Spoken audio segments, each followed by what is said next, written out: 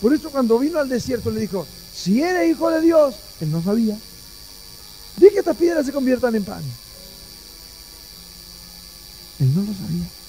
Ahora cuando Jesús habló y lo enfrentó, él escuchó esa voz, que era el yo soy, el verbo, que estaba allá arriba y al cual él tenía que adorarlo, rendirle cuenta. Ahora se estremeció y se dio cuenta que su caída estaba pronta. Entonces se organizó con todas las legiones de los demonios alrededor de Jesús para arrastrarlo a la cruz. El diablo pensó que acababa con él. Pero haciendo eso, haciendo lo que hizo, levantando la turba, levantando a todos los enemigos de Jesús contra Jesús y enviándolo a la cruz, haciendo eso, estaba haciendo y poniéndole la firma a su propia destrucción, el diablo. Porque Jesús tenía. El diablo se había preguntado, ¿y qué está haciendo acá? El verbo. ¿Qué está haciendo acá? Se revistió de carne, se metió entre un ser humano. Es como uno de ellos. ¿Qué está haciendo acá? Y el diablo no sabe el plan de Dios. Sabe cuando alguien lo predica, porque lo escucha. Pero el diablo no es, omnisciente, él no sabe los planes de Dios. ¿Entienden? Entonces el diablo mismo dijo, matémoslo, matémoslo. Y Jesús decía, eh, va, va bien el plan, va bien el proyecto. Matémoslo, matémoslo. Va bien el proyecto. Porque a eso vine, a dar mi vida para rescatarlo. Y cuando el diablo estaba celebrando abajo en el infierno, jamás, jamás, jamás pensó que aquel que le había puesto en la cruz ahora se le presentaba delante de él. No lo podía creer. No lo podía creer. Maravilloso Dios.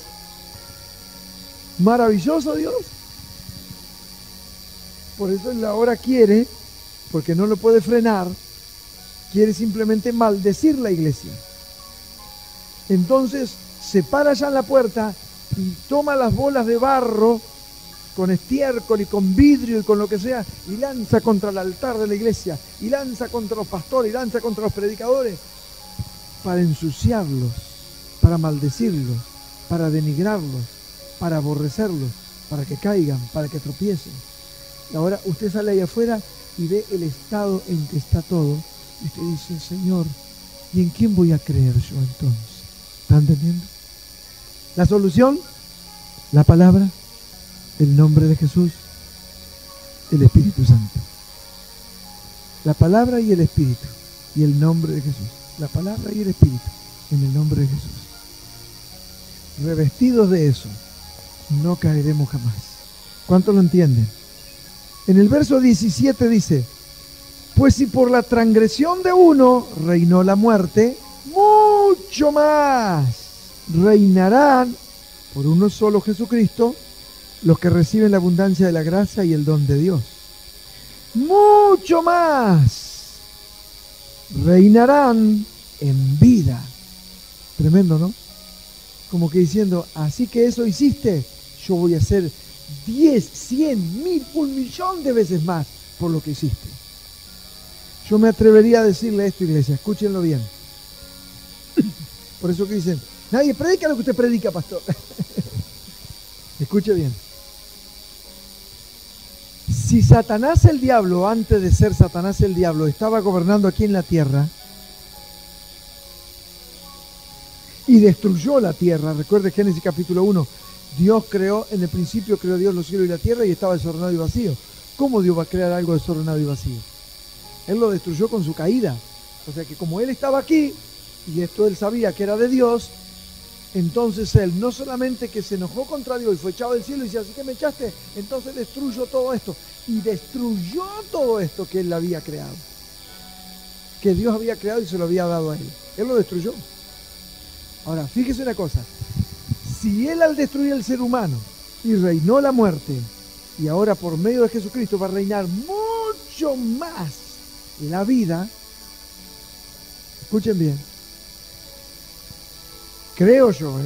esto no está en la Biblia, creo yo, aunque hay, hay mucha evidencia que afirma lo que yo les voy a decir ahora, creo yo que no solamente la gente Dios la lleva a la vida eterna y vida en abundancia, o sea, como reyes y como príncipes, cada uno de nosotros que hemos creído en Cristo Jesús. Sino que no solamente la tierra, sino todo lo que hay en el universo. Cada planeta, cada sistema, Dios va a hacer que sus hijos sean un millón de veces mejores que lo que era Lucifer. ¿Está entendiendo? Ese mucho más abarca no solamente nuestra salvación, ese mucho más abarca que si Él destruyó, fíjense que cuando los, cuando, cuando los, los científicos muestran a Marte, a Júpiter, a la Luna, y hay cráteres, pero también hay, hay zanjas donde habían ríos, hay lugares donde habían lagos. Usted dice, ¿será que algún día hubo agua ahí? ¿Será que ahí algún día hubieron valles y praderas y montañas y habitó vida ahí alguna vez? Pero ¿qué, qué tan grande fue la destrucción que consumió todo, que ni las bacterias viven ahí? ¿Qué tan grande energía se liberó ahí para destruirlo todo? Y así como Dios construyó la tierra, reconstruyó la tierra, porque estaba desordenada y vacía, y dijo Dios sea la luz, y empezó a crearlo todo, y se tomó su tiempo para hacerlo, y lo hizo, y luego puso al hombre.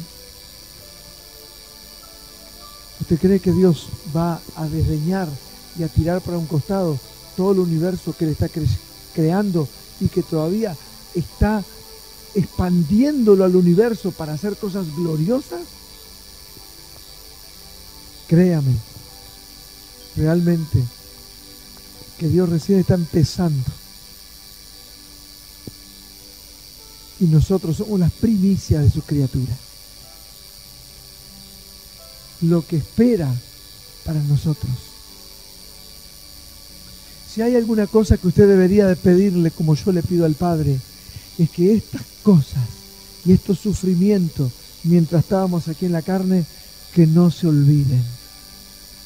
Y lo otra me lo confirmó por un siervo de Dios que dice que en el cielo está filmada nuestra vida, no para avergonzarnos, sino para que veamos a dónde nos va a llevar y de dónde nos sacó, para que sepamos la, ¿se acuerda cuando lo, lo predicamos? La anchura, la longitud, la profundidad y la altura del amor de Dios en Cristo Jesús que excede a todo conocimiento. Para que sepamos lo ancho del amor, lo profundo del amor, lo alto del amor, la longitud del amor de Dios a través de Jesucristo para llevarnos a nosotros hacia dónde nos va a llevar, qué es lo que Él quiere hacer con nosotros. Primero salvarnos. Y nos dejó, por eso Pablo dice que nosotros por ahora vemos, vemos como por espejo. Pero ahora ya no veremos por espejo, veremos cara a cara la verdad de la vida eterna, la realidad del cielo. Ahora lo vemos como en una imaginación, como en una visión, como en un sueño, reflejado en la escritura que el Espíritu toma y nos gozamos. Pero en aquel momento lo veremos cara a cara porque estaremos en aquel reino del cual su palabra habla.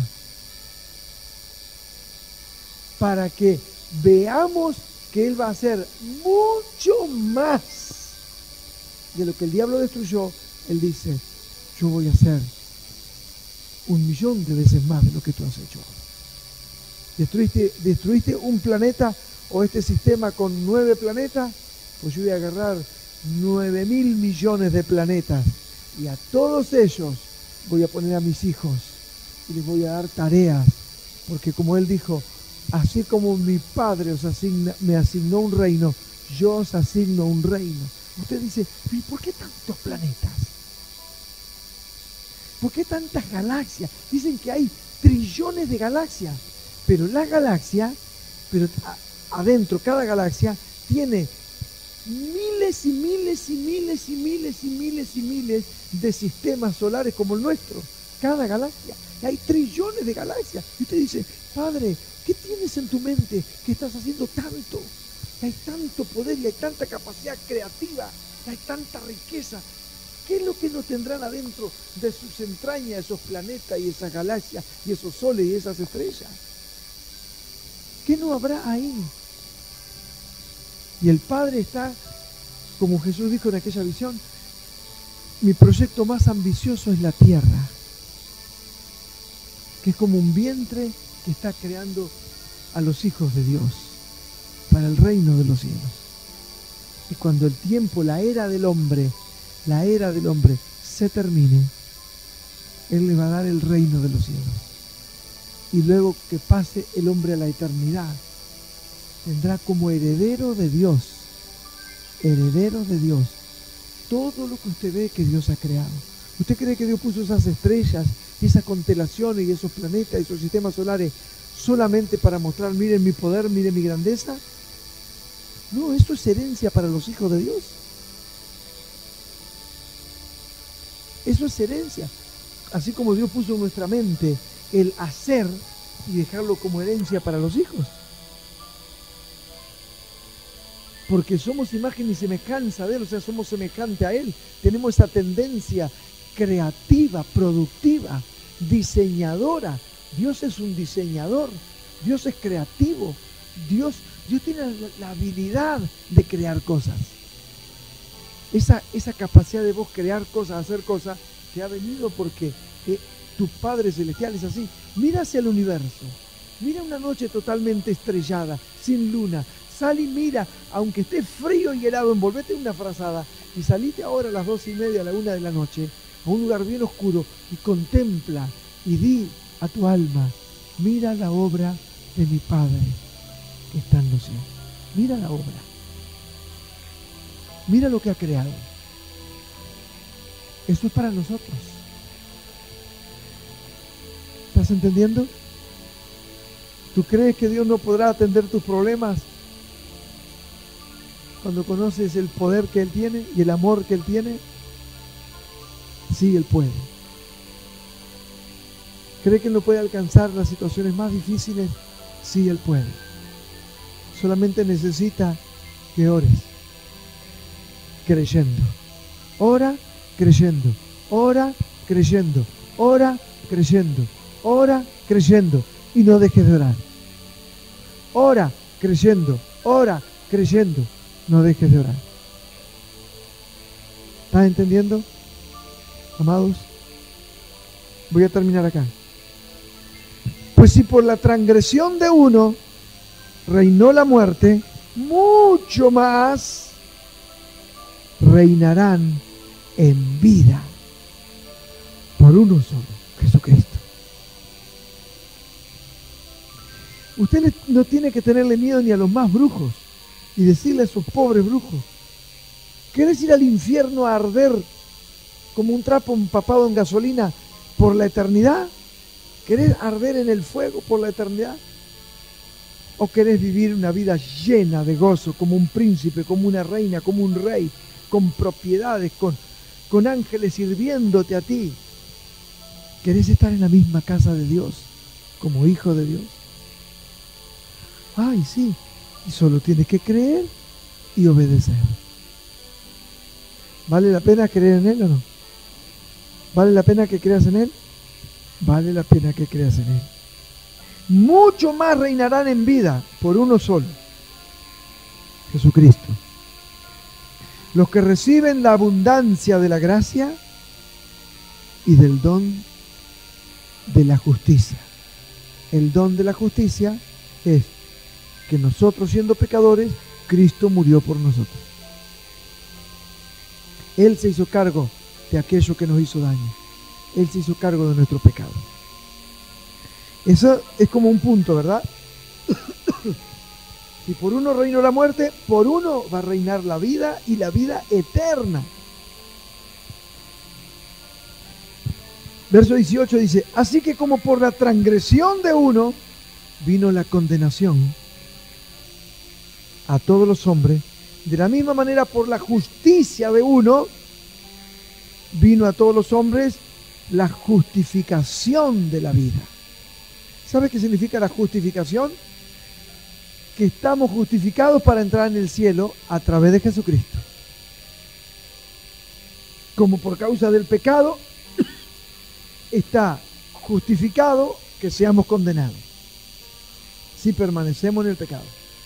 Pero si permanecemos agarraditos de Cristo, es justo que vayamos al cielo. Hasta los ángeles dicen, es justo cuando allí en una de las copas de la ira viene y el Señor convierte el agua potable en sangre, en sangre humana. Entonces dice, justo eres tú, oh Dios, que le has dado a beber sangre, pues se lo merecen porque han derramado la sangre de los inocentes. Ya la iglesia no estará. Pero los que se ponen la marca buscarán agua y no existe agua en el mundo. Habrá sangre para beber y Dios le dará a beber sangre, por cuanto se deleitaron en derramar sangre. Ahora, claro, todos los que tienen microchip están llenos de demonios. ¿Y qué es lo que más le gusta al demonio? A los diablos. Sangre de gallinas, sangre de perros, sangre de animales, sangre de seres humanos. Están haciendo eso. Entonces, ¿qué dice el Señor? Justo eres tú en darles a beber sangre, pues derramaron sangre inocente, pues lo merecen. Tremendo, ¿verdad? Así que por la transgresión de uno, en el verso 18, vino la condenación a todos los hombres, de la misma manera por la justicia. ¿Cuál fue la justicia? Jesucristo es la justicia. Por la justicia de uno vino a todos los hombres la justificación de vida, de la vida eterna, ¿verdad? Es justo, está justificado, puedes entrar, tienes el sello de Cristo. Está justificado para entrar en la vida eterna. Un tercer punto, verso 19. Así como por la desobediencia de un hombre, Adán, por la desobediencia, los muchos fueron constituidos pecadores, así también por la obediencia de Jesucristo, los muchos serán constituidos justos. ¿Qué le parece? Los regalos de Dios, ¿no? Ahora, si nosotros estamos en Cristo Jesús, miren los regalos que recibimos somos justos, estamos justificados para entrar en la vida eterna y tenemos el don y la abundancia de la justicia para reinar en vida, en la vida eterna, para reinar todavía.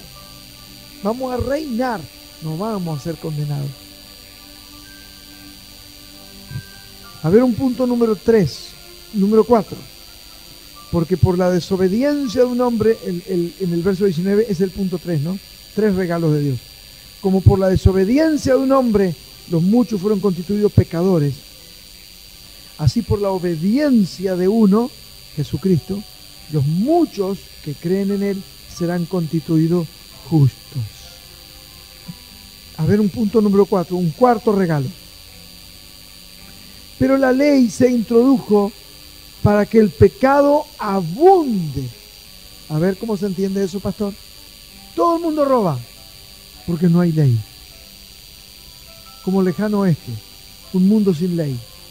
Roban, violan, saquean, hasta que apareció un hombre, se bajó del caballo, sacó de su bolsillo y puso una estrella. Sheriff. Ah, ¿Eso qué significa? Que los que roban los voy a meter en esa jaula. ¿Y eso qué es? ¿Una jaula? Iván tocaba la jaula, dice, tiene tranca, tiene candado, dice, ¿y cómo se saca de aquí? Dice, no se saca hasta que pague la fianza o pague el tiempo que le toca por haber robado. Ladrones, violadores, mentirosos, todo lo que transgreden una ley. Y entonces la ley dice, no matarás, dice Jehová Dios. No robarás, dice Jehová Dios. No cometerás adulterio, dice Jehová Dios. Honrarás a tu padre y a tu madre, dice Jehová Dios. Eso es una ley. Nadie honraba a su padre y a su madre. Todos cometían adulterio y fornicación. Todos robaban, todos mentían. Pero cuando vino la ley, ¡oh! le puso una marca. No traspases ese lindero. Ahora eso no se puede hacer. ¿Cómo que no se puede hacer? Yo siempre robé. Pero si robaste, meten preso. ¿Qué es meterme preso? Esto, vení para adentro. ¿Cuánto llevas ahí encerrado? Llevo encerrado como 30 días.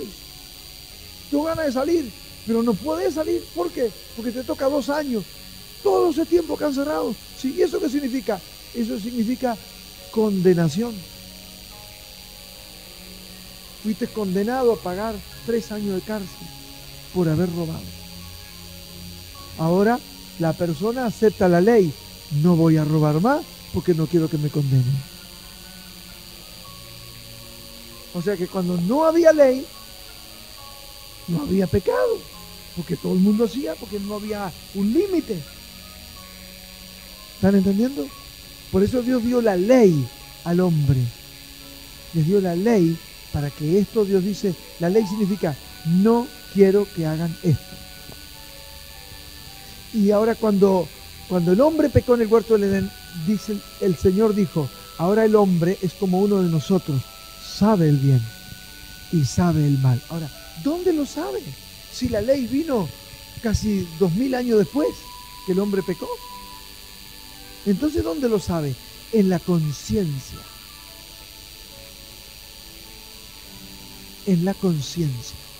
El hombre se esconde para mentir, se esconde para robar, se esconde para pecar, se esconde para matar, porque su conciencia le acusa. ¿Entienden? Ahora, Dios dio tiempo para que, aparte de la ley que está en la conciencia del hombre, que, que es un muro, que es un portón, que es una valla, que le dice no traspase, porque ya estás en terreno peligroso, en terreno ajeno, Aparte de eso, ahora el hombre tiene el conocimiento del amor, que es la gracia de Dios, el perdón, que como Satanás ataca fuerte los sentidos, y si por haber transgredido aún no solamente la conciencia, sino los sentidos, te dejaste llevar por la ira, te dejaste llevar por el enojo, te dejaste llevar por la tentación, ahora está la gracia, que es el amor. ¿Qué significa la gracia? Dios te perdona. Sí, pero me van a meter en la jaula. No te van a meter en la jaula porque la gracia es el regalo que tú no te mereces. Esa es la gracia. Con Cristo Jesús vino la gracia. Con Moisés vino la ley. La ley te dice, ojo por ojo, diente por diente. ¿Qué significa ojo por ojo, diente por diente? Rompiste el vidrio, sí, fue sin querer. Andar a la casa y romperle el vidrio a él. Oh, no, mi vidrio precioso.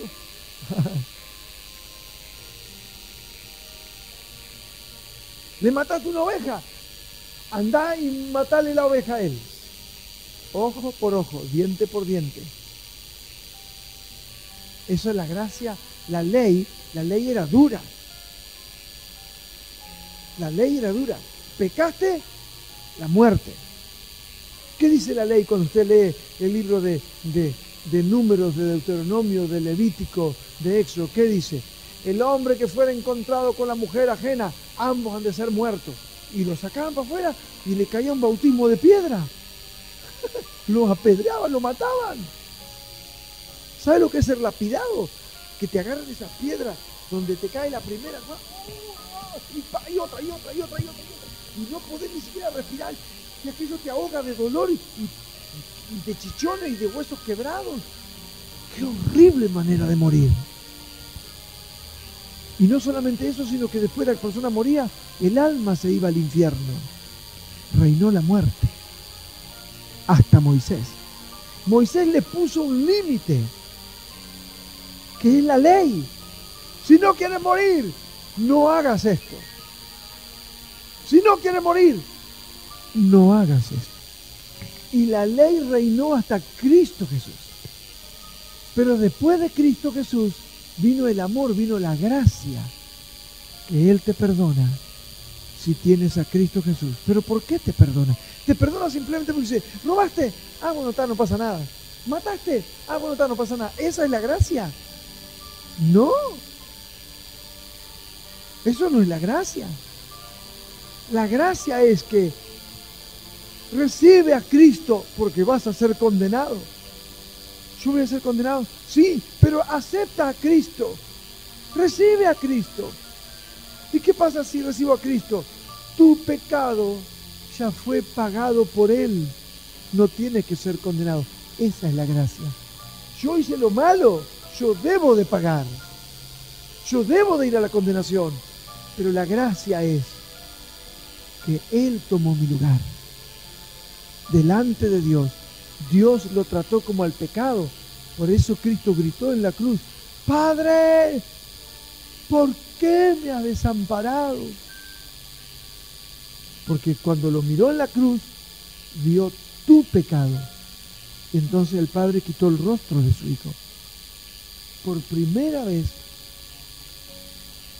Jesús sintió que el Padre lo negó a Él. Entonces, ¿cuánto es el amor de Dios a los que aceptan a Cristo? Que Cristo, sabiendo lo que le iba a pasar, por amor a nosotros, porque el Padre nos amó tanto a nosotros, que Cristo Jesús amó tanto al Padre que le obedeció, sabiendo que por obedecerle al Padre y venir a, rescatarnos y a tomar el pecado sobre él, un día el Padre lo iba a despreciar, aún a él. Y aún así Cristo Jesús se sometió, porque dijo, pero el resultado de esto, yo sé que es la justicia del Padre, me sacará del pozo de la corrupción, porque el Padre pesará que yo di mi vida por ellos, mas yo no disfruté el pecado de ellos. Yo tomé el pecado. Yo tomé el pecado de ellos, pero yo no pequé como ellos.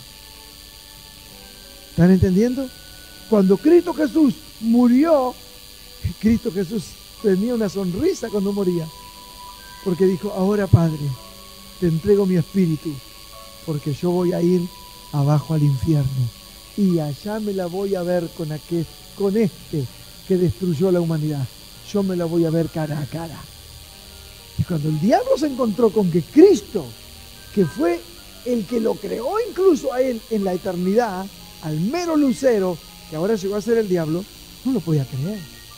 Y tú, y no le podía decir nada porque Cristo estaba muerto. Legalmente entró al, lugar del que tenía el imperio de la muerte, o sea, era el rey ahí en la muerte. Cristo no podía venir a, ese reino que era de él, que no era de él, que era de Satanás, pero legalmente se hizo cargo de nuestro pecado y legalmente estaba muerto, legalmente era uno más ahí en el infierno, pero que Satanás no podía tener acceso a él. Entonces el diablo dice, ¿cómo? ¿Cómo es posible? No es posible. Y sí es posible, porque tú me mataste a mí en la cruz del Calvario. Y yo soy imagen y semejanza de ellos. Y el diablo se habrá agarrado la cabeza y dice, ¡ay! Tienes razón. Porque el hombre es imagen y semejanza de Dios y ahora Dios se hizo como un hombre. Porque Dios tiene derecho legal, porque es propietario de ellos. Se revistió de carne, se metió entre un ser humano. Y ahora yo lo maté a él. Y como maté a un ser humano, él tiene derecho legal de entrar en este lugar, a mi reino.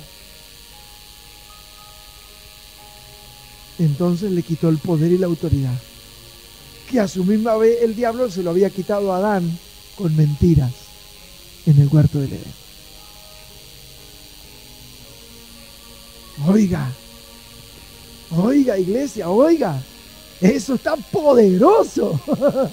El plan de Dios. El plan.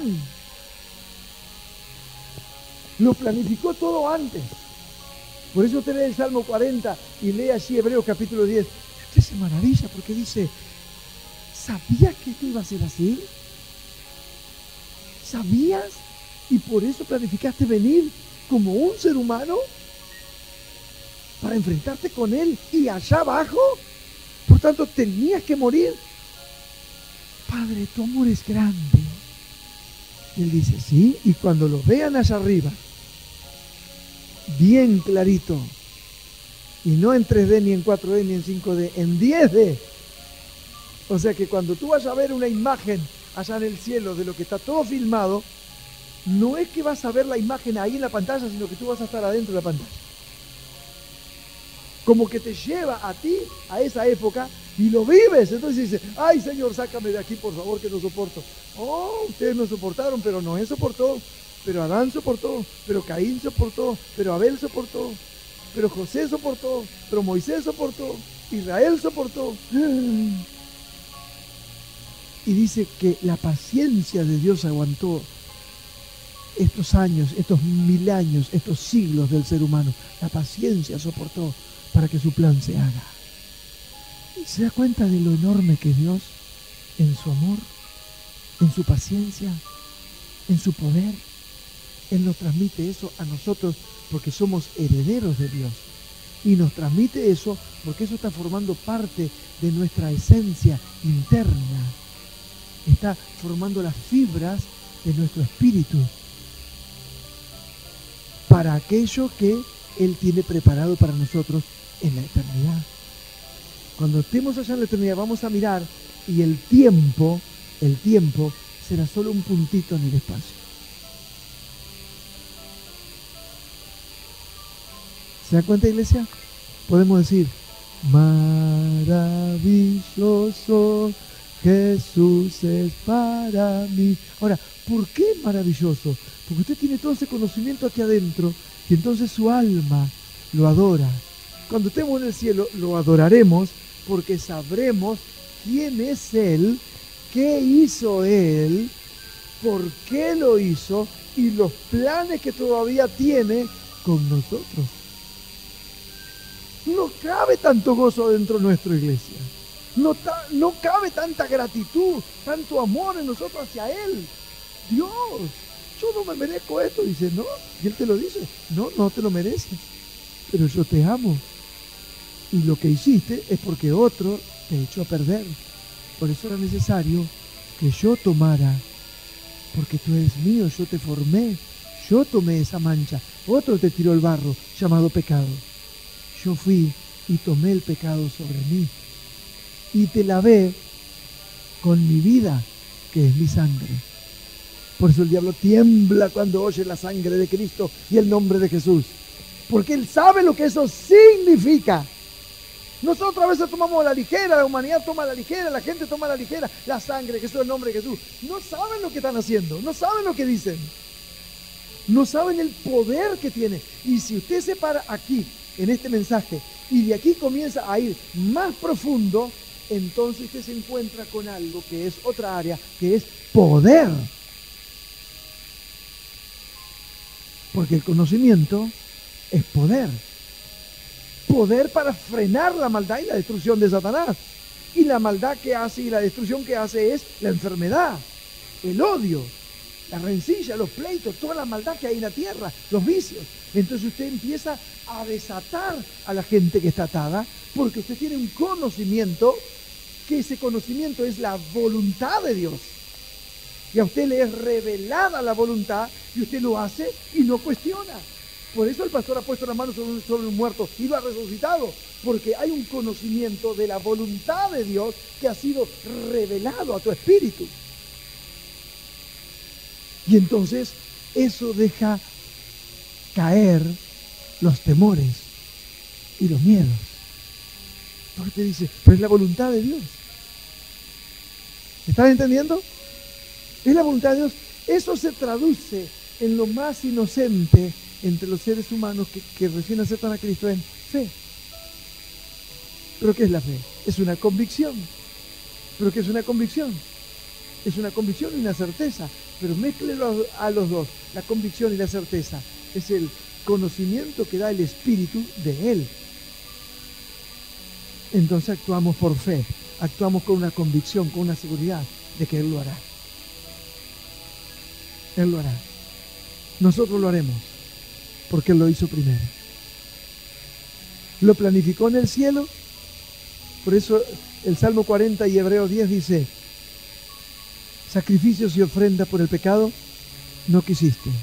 Holocaustos y expiaciones no te agradaron. Entonces dije, porque yo veo que al Padre no quiere sacrificio. holocaustos y expiaciones por el pecado no te agradaron. Entonces yo dije, he aquí que vengo, oh Dios, como en el libro está escrito de mí. Quiere decir que el Padre, antes de dialogarlo con el Hijo, lo pensó, pero como el Hijo es el pensamiento de Dios, el Hijo es el pensamiento de Dios, o sea, es el verbo de Dios, y él sabía lo que el Padre pensaba y lo que el Padre quería, mas el Padre no se lo habló, esperó que el verbo lo hablara. He aquí que vengo, como en el rollo del libro está escrito de mí.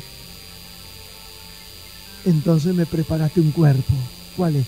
El plan de la salvación, que Cristo vendría al mundo para redimir al, hombre y darle legalmente al hombre la capacidad de ser heredero de Dios. O sea, Dios crea al hombre, el hombre ha pecado, Él lo levanta, lo restituye a la presencia de Dios, pero legalmente, legalmente, por, por, el amor, la obediencia de Cristo al Padre, legalmente lo hacen heredero de Dios.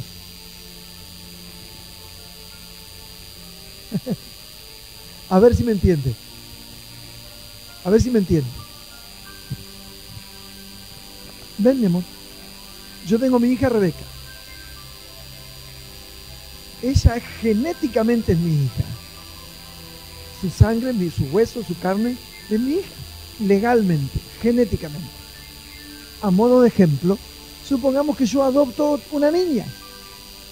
Y esta niña, yo no sé quién es su padre y su madre, no lo sé. Está en el hospital. La vi hermosa. Y sí es hermosa. La adopto en mi familia.